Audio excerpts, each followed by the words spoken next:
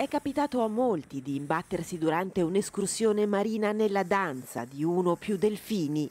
Esperienza non inusuale, vista la socialità di questi animali, ma che desta sempre stupore e meraviglia. Ma vanno come treni, è bellissimo! Oggi tutto il mondo celebra questi aggraziati e veloci abitanti del mare tra i più simpatici e comunicativi, tanto da essere utilizzati per la pet therapy in una giornata istituita dall'ONU allo scopo di ricordarne l'importanza per l'ecosistema ma anche le tante fragilità se molte specie degli oceani, come il delfino di Maui o la vaquita, sono a rischio estinzione anche sulle nostre coste, il delfino comune va tutelato. Tra i pericoli principali le interazioni dei delfini con la pesca.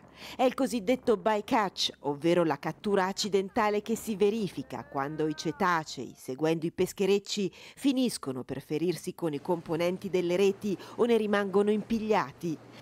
Per questo, tra gli obiettivi della giornata mondiale dei delfini vi è anche quello di sensibilizzare i pescatori, da un lato perché forniscano le reti di dissuasori evitando incidenti e anche i naviganti comuni, perché in caso di avvistamento di un delfino spiaggiato o in difficoltà lo segnalino alle autorità.